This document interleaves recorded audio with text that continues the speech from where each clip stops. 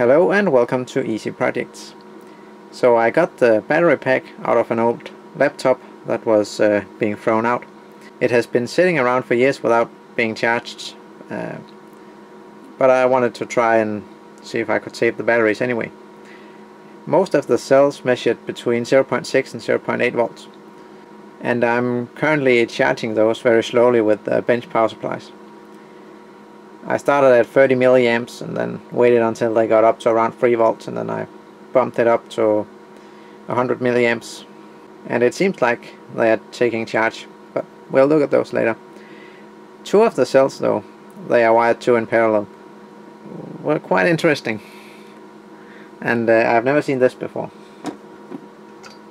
So we have the positive end here and the negative end here and you can see it actually measures a negative voltage minus 360 milliamps I think I noticed with the, this battery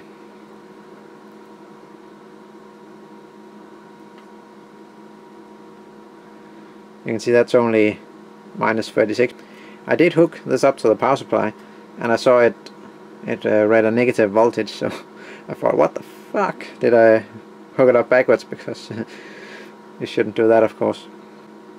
But I didn't. It was the battery that had the opposite polarity. So we'll see if these will uh, will recover, even though they are well below zero.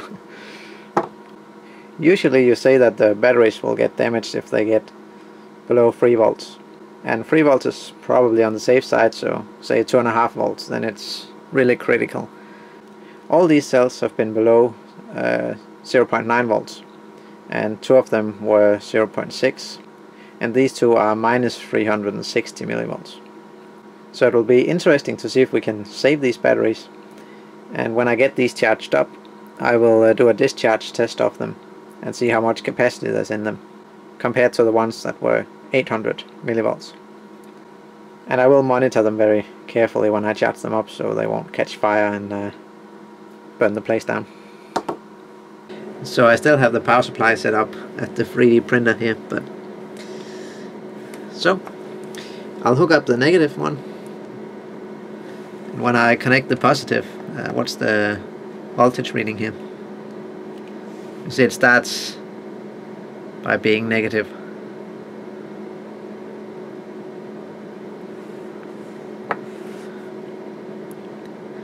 So, we'll see what happens. I don't really know what to expect, but... so I'll let it charge up to about 3 volts, and then we'll bump up the current a little bit. It's about 100 milliamps. And then when we get a little bit higher, we can probably give it more current. So I'm setting up a little production run here.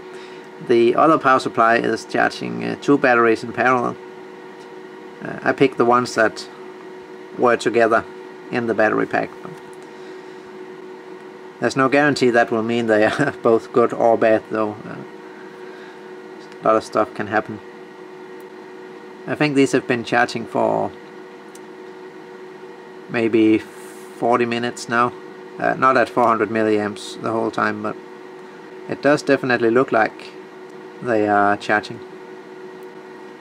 If they were totally dead, I would uh, expect either the batteries to be dead short, so that they'll just pull as much current as possible and the voltage wouldn't rise, or they would be almost open circuit, so it would uh, charge up to 4.2 volt almost instantaneously, and then when you disconnect it, it would drop again very fast. But it uh, doesn't do that. So we'll wait until they are fully charged and then we will do a discharge test of them and see if we can save them. So I charged all the batteries to roughly 3.7 volts and uh, now it's two weeks later so we'll measure if uh, there's still some voltage on them. So this one has 3.6 volts 3.66 uh, 3.5 3.5, uh, 3.3 watts,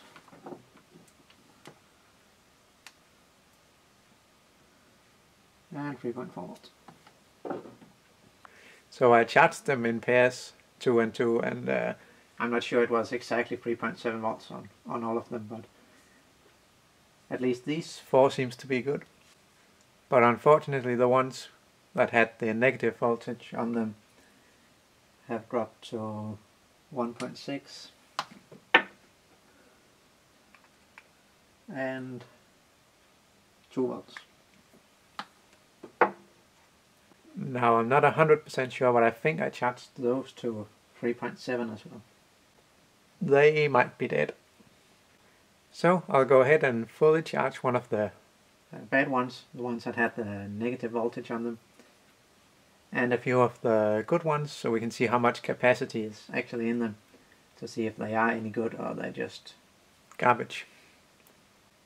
Remember these have been sitting at what was it around 0.8 volts for years so uh, our chances are not that good and two of them as I said were negative voltage when we first measured them. So we uh, charged them to 4.2 volts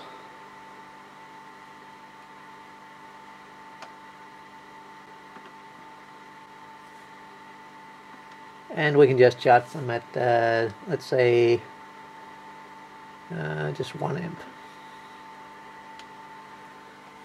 I will charge them two in parallel so it will actually only be half an amp per battery if they are uh, balanced. So if one is not a lot worse than the other then it will be pretty balanced. I'm using fairly long cables so that's probably why we see a fairly high voltage but uh, now we'll just have to wait until they're fully charged. And then we can make a discharge test to figure out how much capacity are in the batteries. And of course, uh, perhaps I should say you should only charge batteries in parallel like this if you know they have the same charge.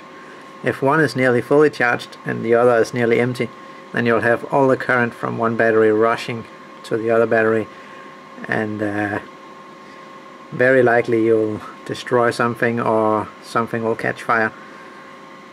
So if you do that, make absolutely sure that they have the same uh, potential. So it is now approximately one day after I fully charged these batteries. And we can see one is at 4.1 volts. That would be fairly normal for a battery. And this is only at 3.95 volts. And this one was the one that had the negative voltage on it when we first opened up the battery. And I checked the other one uh, that was in parallel with it, it's exactly the same, that dropped to 3.95 as well. So now we'll do a discharge test and see how much capacity is in them so we can find out if it's worthwhile salvaging batteries from these old laptop battery packs. So we'll set up the DC load here and um, let's discharge them at 500 milliamps. Oh, let's go 750. We don't have all day. So we go ahead and connect the multimeter to the battery. And uh, we can use the crappy wires for this because it's it's not going to draw any current. I'll use some of my more beefy alligator clips for the current. We will just do this the old-fashioned way with a stopwatch because I uh, I haven't uh, made the timer function for the DC load yet so we'll just start these at the same time.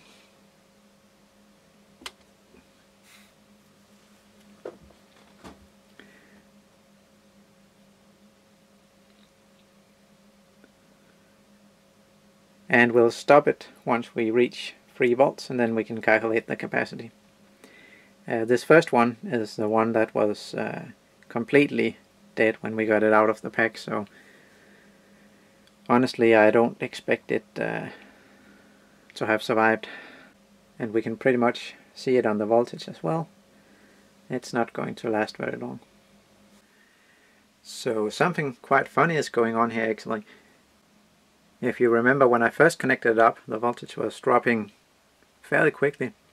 But now once it gets down to 3.26 volts, it starts to to have more capacity at that voltage. Usually if you look at a discharge curve for a lithium ion battery, it will have a fast drop in voltage from say 4.2 to 3.9 volts or thereabouts, and it will flatten out and be kind of linear at least from 3.8 to 3.6 or 3.5 volts and then we'll start dropping faster again uh, the voltage. On this particular battery the flat part seems to be down here at at 3.25 volts.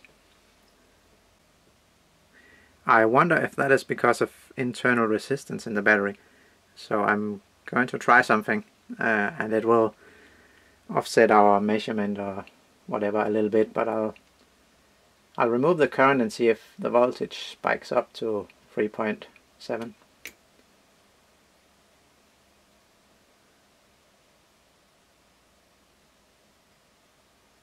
and you know what? It actually does. So we can pretty much just say that this battery is totally crapped out because it shouldn't have that amount of, of resistance. Not for a lithium ion. So I'll just let it discharge down to 3 volts and uh, then we'll see. So we ran into another problem here and uh, if we put the old uh, wet temperature probe on here uh, it's heating up slightly it's I would say around 40 degrees plus minus.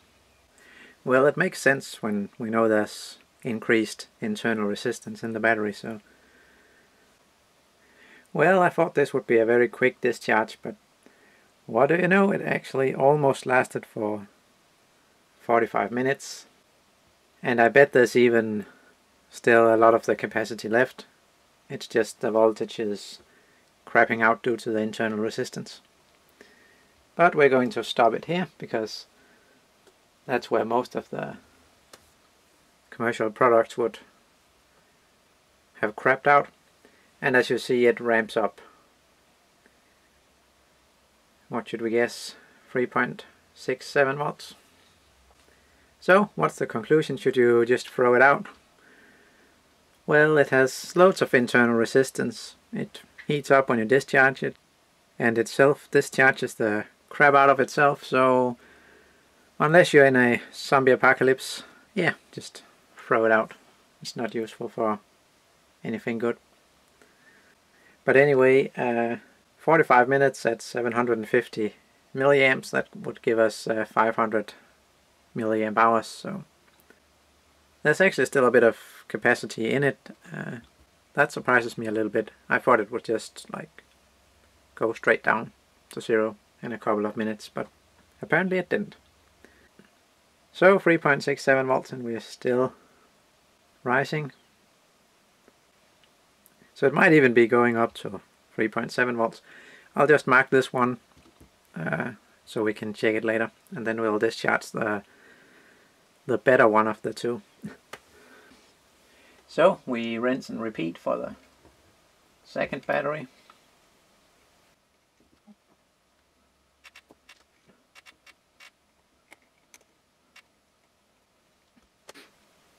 And as you can see here, this one starts out at 4.1 volt. And I need to charge my phone, but let's uh, start it. So you can see this one is much better. It doesn't drop down straight away either. But only time can tell how much capacity is actually left in it. So we'll come back when we're down to 3 volts. So this one is almost done also. I think I said the other battery had 500 milliamps, but of course it is uh, in fact 560 uh, 500 would have been uh, if it was two thirds of an hour and it was in fact uh, three quarters so I just want to correct that. So we are almost out of use on this one. And uh, also this one doesn't warm up.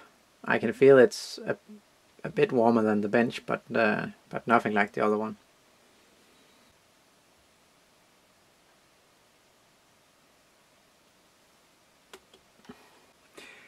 So you can see this one also uh, rises in voltage, but not as bad as the other one. It has been sitting for a couple of minutes now, and we're up to 3.62. So 1 hour 48 minutes and 17 seconds. That would be around uh, 108 minutes, uh, point three or thereabout. 108.3 divided by 60 is 1.805 hours times 750 milliamps.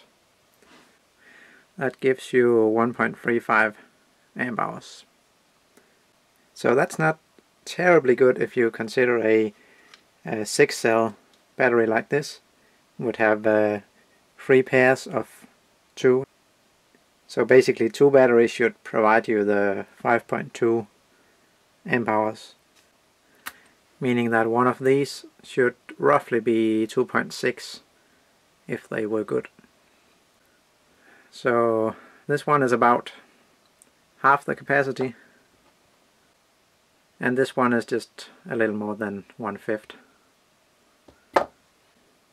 So I don't know if it's really worth uh, scrapping that old of a laptop uh, for the batteries, but the four out of the six could be useful and the, the last two are pretty much garbage because they also uh, self-discharge. But if you have a project where you don't really care about how good the batteries are, then uh, for sure you can use these. And just for reference, here the the bad battery now measures 3.76 volts. So that have uh, gained quite a lot of voltage. The slightly better one is only 3.68. It's been laying for about 20 minutes I think, but you can see it's actually still rising ever so slowly. But it would be kinda around this figure. I hope you found this uh, video interesting, and if you did, please give it the thumbs up on YouTube. Thanks for watching and I'll see you in the next one. See you.